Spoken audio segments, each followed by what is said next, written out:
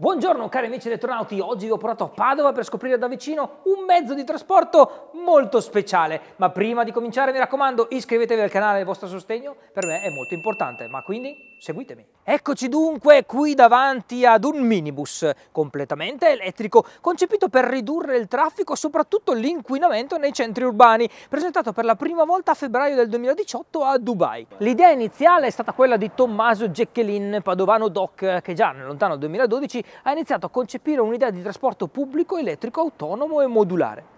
Il suo progetto ha ottenuto un grande eco, tant'è che è finito su testate importanti come Bloomberg, CNN, Forbes, Guardian, Wire, il Corriere della Sera, Repubblica e moltissime altre e grazie alla sua idea ha trovato un importante partner in Karim, un servizio di prenotazione basato su app molto diffuso negli Emirati Arabi, dove Next potrebbe trovare presto una pratica applicazione, dal momento che eh, l'Emiro Al Maktoum vuole rendere entro il 2030 il 25% di tutti i trasporti di Dubai elettrici e senza conducente.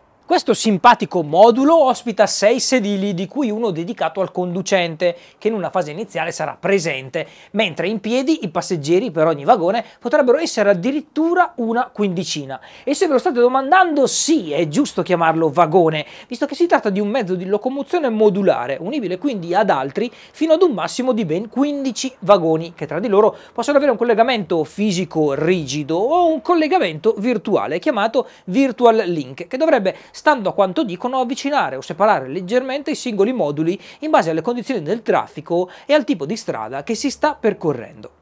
Molto comoda sarà anche la possibilità di ridistribuire i passeggeri nelle varie unità accodate ai vagoni in base al percorso che andranno a fare. Infatti potrà essere che per un certo tratto della corsa più moduli si uniranno, mentre per altri tratti invece si separeranno, raggiungendo così destinazioni diverse. Ogni singolo vagone è quasi un cubo, misurando 2,67 m di lunghezza, 2,35 m di larghezza e 2,90 m in altezza, e per poter sfruttare appunto tutta la sua configurazione di posti in piedi. Inoltre il singolo modulo è anche in grado di ruotare su se stesso di 360 gradi.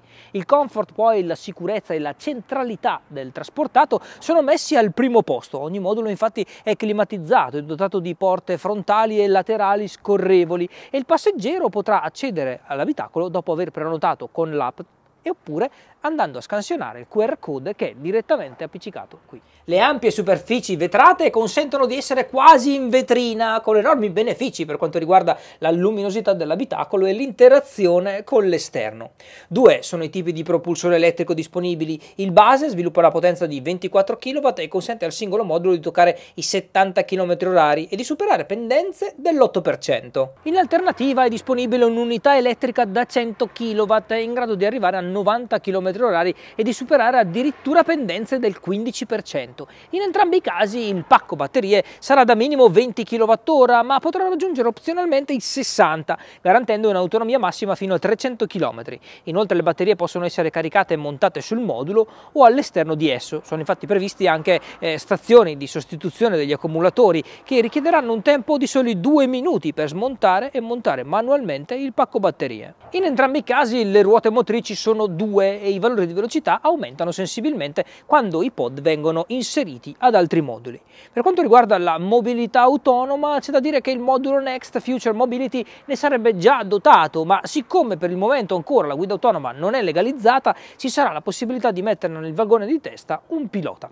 Chiaramente ciò significa una marea di sistemi di ausilio alla guida tra radar a lungo raggio, LiDAR, sensori di avvicinamento, GPS eccetera ma Next potrebbe essere destinato non solo allo spostamento pubblico di persone, potrebbe anche essere utilizzato come navetta aeroportuale o come trasporto di merci e quindi utilizzato anche per le consegne di e-commerce o perché no potrebbe essere utilizzato dal portalettere al posto degli scooter. Già diverse università e qualche conferenza internazionale specializzata si è occupata del fenomeno Next ed ha espresso tutti gli apprezzamenti del caso relativamente al risparmio di carburante, alle importanti riduzioni dell'inquinamento, alla contribuzione dello sviluppo di una mobilità sostenibile, eccetera, eccetera. Oggi abbiamo l'occasione di parlare con l'ideatore del progetto. Tommaso, allora, ciao! Intanto grazie per averci invitato per farci vedere questo bellissimo progetto. Ma a che punto siamo? Com'è che vanno i lavori? Ah, grazie a te Matteo. I lavori vanno benissimo. Sui veicoli che state vedendo in questo momento abbiamo fatto la sperimentazione su Padova okay. e poi ne abbiamo altri sette con cui stiamo facendo una sperimentazione a Dubai, siamo stati anche all'Expo di Dubai. I risultati sono stati ottimi. Qui a Padova abbiamo fatto non solo giri in questo parcheggio, ma abbiamo fatto dei giri proprio su strada pubblica, abbiamo agganciato e sganciato i moduli su strada pubblica e i piani sono per fine anno di avere questi mezzi completamente omologati e comincia la produzione di serie. Oh wow, siete arrivati quasi alla fine. Questa è la terza generazione in realtà, perché abbiamo dei moduli di varie generazioni diverse. Abbiamo tolto alcune feature perché per esempio la guida autonoma non è ancora legale, certo. perché i sistemi di sterzo by wire non sono ancora facilmente omologabili, mm. ma questo veicolo qui, questa versione sarà quella alla fine omologata. Ok, quindi praticamente siamo arrivati nel momento giusto, perché adesso sì. starai pensando un po' al futuro, a sì. come sarà la mobilità tra qualche anno, sì. magari proprio con i tuoi progetti. Per me tra 5-10 anni intanto la parte di guida autonoma probabilmente sarà sdoganata eh, e si riuscirà finalmente a rendere questo progetto non solo modulare ma anche autonomo, che questo dà moltissime capacità in più al, al veicolo. Ma io mi immagino comunque una mobilità che diventerà in parte pubblica ed intelligente come questi moduli qua e la parte invece di veicoli privati saranno sempre più performanti sarà sempre più come è successo con il cavallo il passaggio certo. tra il cavallo e la macchina. La macchina privata diventerà come il cavallo diventerà uno sport probabilmente. E per quanto riguarda il,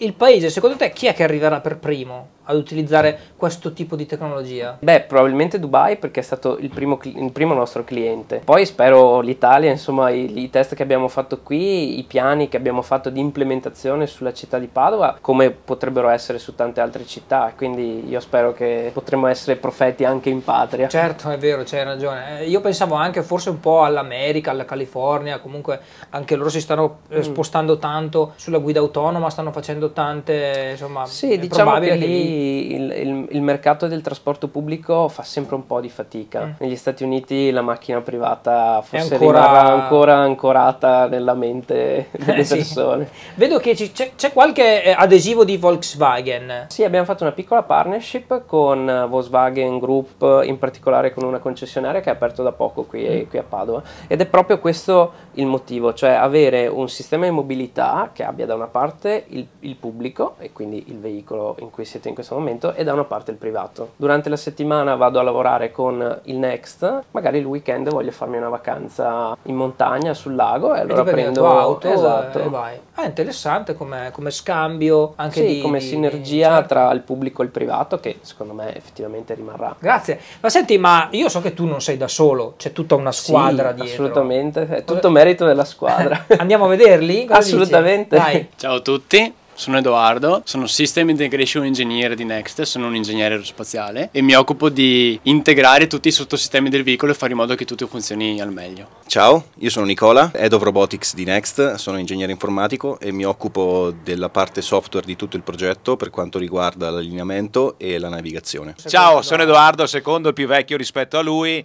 io mi occupo di assemblaggio materiale elettrico, un'azienda appunto di assemblaggio materiale elettrico qui a Padova.